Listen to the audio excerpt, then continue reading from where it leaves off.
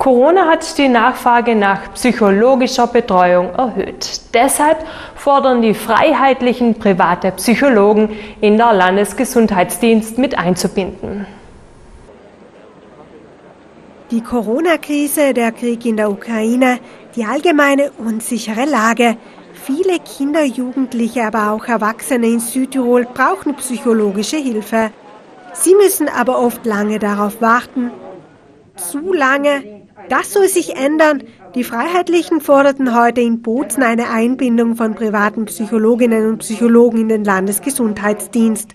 Der Beschlussantrag soll in dieser Woche im Landtag diskutiert werden. Uns geht es in unserem Beschlussantrag darum, dass damit diese lange Wartelisten abgebaut werden können, die, und auch die öffentlichen Strukturen entlastet werden können, das Land mit den freiberuflichen Psychologen und Psychotherapeuten enger zusammenarbeitet, dass diese in die Arbeit eingebunden werden und dass Menschen, die beispielsweise wirklich akut äh, ein Gespräch, eine Therapie, eine Beratung notwendig haben und sich an einen privaten Dienst wenden, dass das Land eine Rückerstattung diesen Personen äh, gewährt.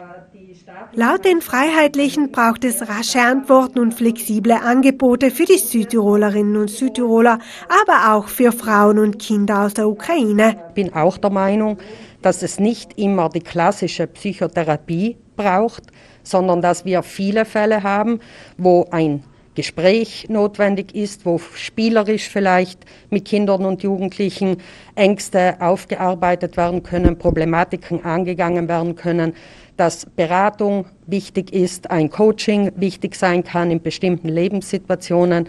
Und ich denke halt Menschen, die wirklich in akuten Notsituationen sind, da sollte eine finanzielle Überlegung kein Thema sein müssen äh, in Südtirol. Für Hilfesuchende gibt es übrigens einen Bonus des Staates. Ja, auch der Staat ist in dieser Thematik tätig geworden. Er hat äh, diesen Bonus äh, Psychology, Psychology äh, ins Leben gerufen. Äh, das Maximum sind 600 Euro, wenn äh, die staatliche Einkommens- und Vermögensgrenze von 50.000 Euro nicht überschritten wird.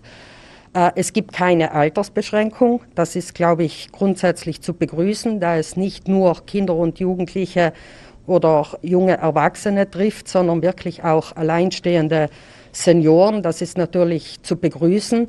Nichtsdestotrotz, glaube ich, kann man auch auf Landesebene äh, in dieser Sache tätig werden und die vielen freiberuflichen Psychologen, Psychotherapeuten, die wir haben, auch in, diese, in diesen gesamten Apparat auch meinetwegen zeitlich begrenzt einzubinden, damit wirklich jeder äh, die Möglichkeit hat, sich rasch Hilfe zu holen, dann, wenn er es nötig hat.